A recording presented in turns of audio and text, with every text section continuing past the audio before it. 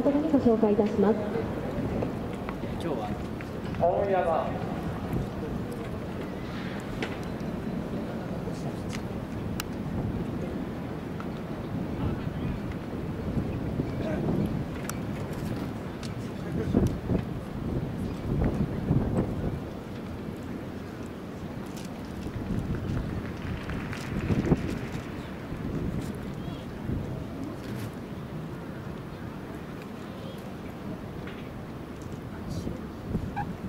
でスタートしました北関東男子初競技 400m 競争第2組出場選手は第1レーン金子君商業埼玉第2レーン原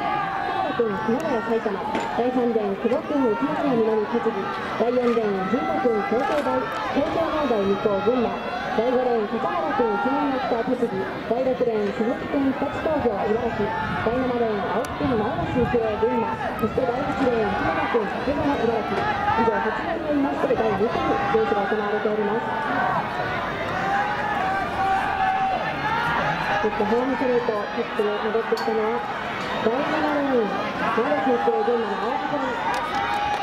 そして内側第3レーンはチームを南栃木の黒君外側第6レーンは伊勢の茨城の平田君こちらも50秒台でのフィニッシュ。